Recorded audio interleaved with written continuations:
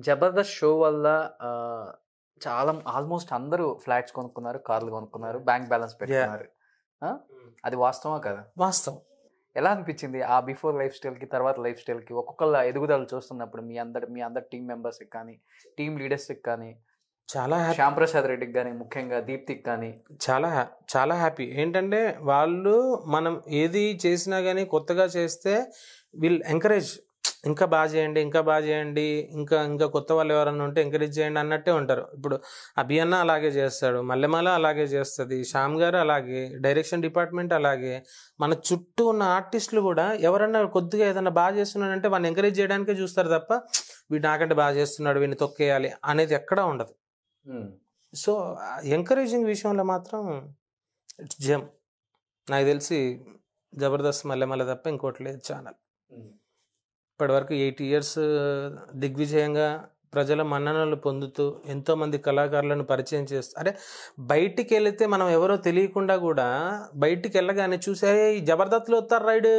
అయ్యి బాబాయ్ ఏంటి ఫోటో అండి అని చెప్పేసి ఫోటో దిగి సెల్ఫీలు దిగి వాళ్ళ ఊరికి వెళ్ళి చెప్పి ఫేస్బుక్లో పోస్ట్ చేసి నేను ఈయనను కలిసాను ఆయనని కలిసాను ఏమంటే మా మా బుడ్డోడు బర్త్డే ఉంది ఒక బర్త్డే విషయం చెప్పండి. అంటే ఎంత హ్యాపీనెస్ ఉంటుంది. మనకు ఎవరో తెలియదు. ఎక్కడి నుంచో వచ్చారు చూశారు కలిశారు ఫోటో దిగారు. వాళ్ళు వెళ్ళి ఇంకో పది మంది చెప్తారు. అంటే అది ఇంకో గొప్ప అచీవ్మెంటే కదా ఇంకా మనకి. సో ఇన్ని టీమ్స్ ఉన్నాయి కదా. ఇన్ని టీమ్స్లో హైయెస్ట్ రెమ్యునరేషన్ ఏ టీమ్కి ఇస్తుంది అంటే బేసిక్ అవి టీమ్కి అంటుంటారు అంత నిజమే అది? నాకు తెలియదు. అంటే నా రెమ్యూనరేషన్ నాకు తెలుసు కానీ ఇంకా టీమ్ లీడర్లది కానీ వేరే వాళ్ళ రెమ్యూనరేషన్ కానీ తెలియదు. ఈ విషయంలో అభియాన్నకు హ్యాట్సాప్ చెప్పాలి. ఎందుకంటే ఈ రోజు షూటింగ్ అయిపోతే ఈ రోజు చెక్ ఇచ్చేస్తాడండి.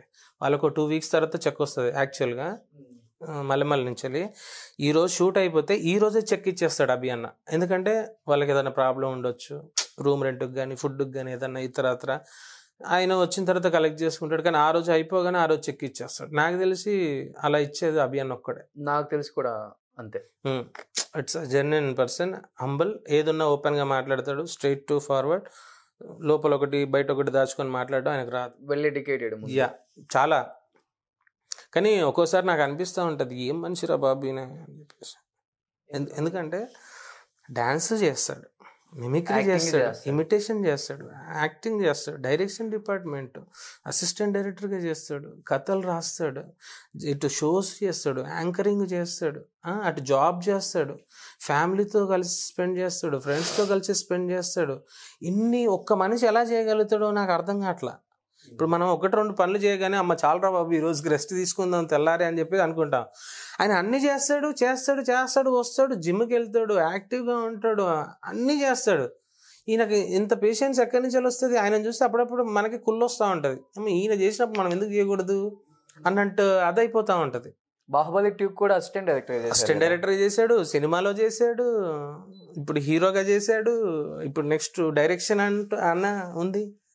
ఇంకా సమ్ అది వేరే లెవెల్ ఇంకా. జబర్దస్త్ రాకముందు నీ ఫస్ట్ రెమ్యునరేషన్ ఎంత రాము? ఆర్టిస్ట్ గానా డాన్సర్ గానా? ఆర్టిస్ట్గా డాన్సర్గా. Two hundred rupees two hundred rupees Jabardasth వచ్చిన తర్వాత నీ ఫస్ట్ రెమ్యునరేషన్ ఫస్ట్ రెమ్యూనరేషన్ అభియన్నే ఇచ్చాడు నాకు పన్నెండు వేలు ఇచ్చాడు. First first remuneration remuneration highest remuneration I think మరి?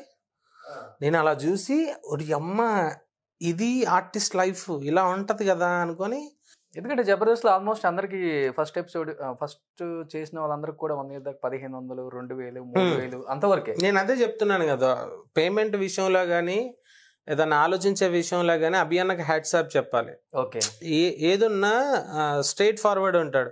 చేశాము రెండు ఎపిసోడ్లు ఒక దాంట్లో చిన్న క్యారెక్టర్ చేశాను నేను. దానికి కలిపి ఒకటి లేడీ గెటప్ వేసిన దానికి ఎక్కడ అన్నయ్య బోయినపల్లిలో ఉంటాడు. ఆయన కార్ ఏదో ట్రబుల్ ఇచ్చిందంటే యాక్టివా బండి వేసుకుని అక్కడి నుంచి వెళ్ళి మన హర్ష మెస్ అని ఉంది కదా? అవును ఎస్ఆర్ అమీర్పేట దగ్గర హైసర్ నగర్. అక్కడికి వచ్చేసి మేము ఎవరెవరం రైటరు ఆర్టిస్టులుగా చేసామో వాళ్ళందరికీ ఏటీఎంలోకి వెళ్ళి డబ్బులు తీసి లెక్క పెట్టి నీకు రెండు ఎపిసోడ్లు నీకు రెండు ఎపిసోడ్లు నీకు ఒక ఎపిసోడ్ అని చెప్పి అందరు కౌంట్ చేసి ఇచ్చి మరి వెళ్ళాడు.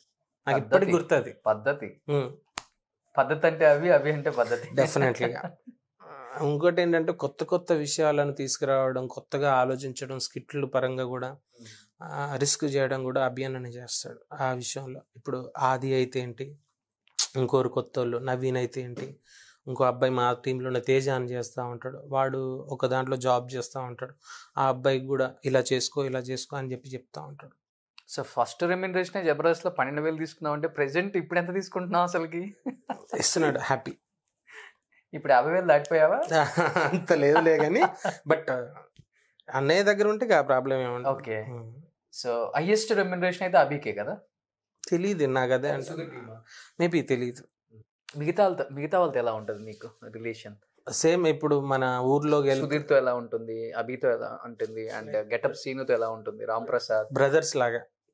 చూడగానే రే మొన్న అది చేసేవారు అబ్బలే ఉందిరా అని అంటారు. ఎప్పుడు చూసాడు అంటే మనం పోయిన ఎపిసోడ్ కాక ఆ పోయిన ఎపిసోడ్ చూసింది ఆ రోజు కలుస్తాం కదా కలవగానే చెప్పేస్తారు. సుధీర్ అన్న అయితే ఏంటి రా రామ్ ప్రసాద్ అయితే రామ్ ప్రసాద్ నేను బావా బావా అనుకుంటాం. ఆడు మామూలు ఆటో పంచులు కదా నీకు తెలుసు కదా. కలిస్తే వస్తాడు ఎక్కడో ఉన్నా కానీ వేసేస్తానే ఉంటాడు. రామ్ ప్రసాద్ బాబా కానీ సీనన్న కానీ సీనన్న it's very talented and encouraged same అలాంటి మంచి మనిషి. అంటే ఇప్పుడు జబర్దస్త్ ఎక్స్ట్రా జబర్దస్త్లో వీళ్ళు ఎక్కువ వాళ్ళు తక్కువ అని ఏమి ఉండడు డార్లింగ్. అందరూ ఒక ఫ్యామిలీ మెంబర్స్ లాగా. బాగా కష్టపడ్డా సక్సెస్ అనేది ఈ- జబర్దస్త్ వల్ల చూసావు యా ఎస్ సో జబర్దస్త్ తర్వాత అక్కడి నుంచి మాకు వద్దు జబర్దస్త్ మాకు అంతగా అనిపించలేదని కొంతమంది బయటకు వచ్చారు మళ్ళీ ఇక్కడికి వచ్చి జీ తెలుగులో ఒక షో పెట్టారు అదిరింది అని. ఆ షోకి ఈ షోకి నీకు కనపడిన డిఫరెన్స్ ఏంటి?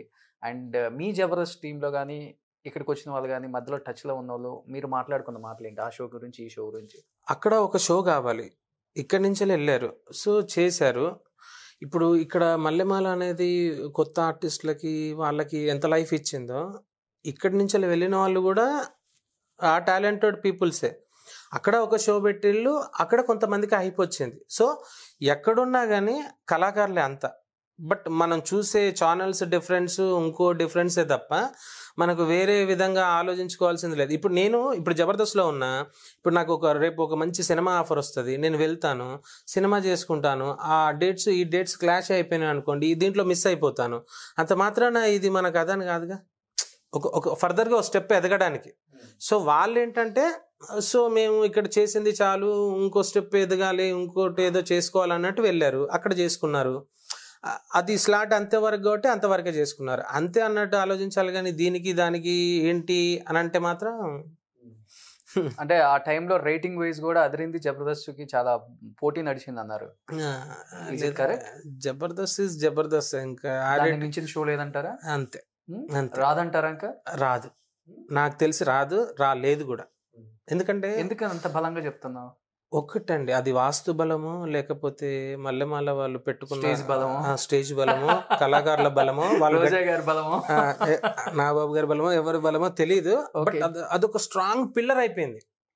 ఇప్పుడు మనకి చెన్నైకి వెళ్తే ఏవిఎం స్టూడియో అని అంటే దిస్ ఇస్ ఒక స్టూడియో అది ఇంకా దాన్ని బీట్ చేసేది కొత్తగా ఎన్ని వచ్చినా కానీ దాంట్లో అద్భుతాలు చేసినప్పుడు అద్భుతాల గురించే మాట్లాడతారు కానీ కొత్తగా వచ్చే కొత్తగానే మాట్లాడతారు. ఓకే సో మనకి హైదరాబాద్లో ఏంటి Sarathi studio Annapurna studio Ramanaidu studio ఇవి ఒక పిల్లర్స్ వీటన్నిటికీ ఒక పెద్ద పిల్లర్ ఏంటి అని అంటే రామోజీ ఫిలిం సిటీ దాన్ని తలదన్నేది ఇంకోటి రాదు. ఒకవేళ వచ్చినా ఫిలిం సిటీ ఫిలిం సిటీ కొత్తది కొత్తదే కదా.